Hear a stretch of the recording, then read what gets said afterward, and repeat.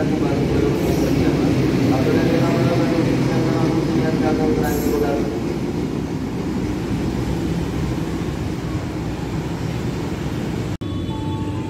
dari arah barat tadi ini kereta api melintas langsung hati-hati jalur tiga dari arah barat kereta api melintas langsung hati-hati.